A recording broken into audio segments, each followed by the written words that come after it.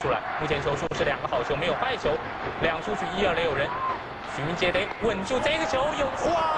到第八棒的捕手金东书，许明一个状况，许明杰好好控制，还是能够球速上取得领先。这一球一连，或者是干脆投偏高的这种 high fastball 来引诱对方，又敲出安打。但这时候也要担心对方会不会打击轮回到第五轮的第一棒。许明杰好好的稳住九局下半，微偏高了一点。对。我值得注意下来的许明杰能够顺利顺顺利利解决掉李炳辉。二垒上是带好的生命册，这个够诚心的祈祷。去投开点，他还是有可能去挥棒。但我看这个球事实上投进攻。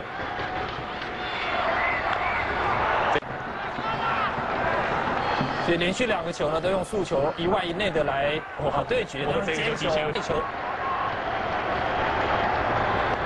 中韩大战来到关键的九局下半。打击的是韩国队，我们先来看，这个球塞内角打到三垒，名的搭档，这个球打者出棒过半，延长赛新八点档来喽。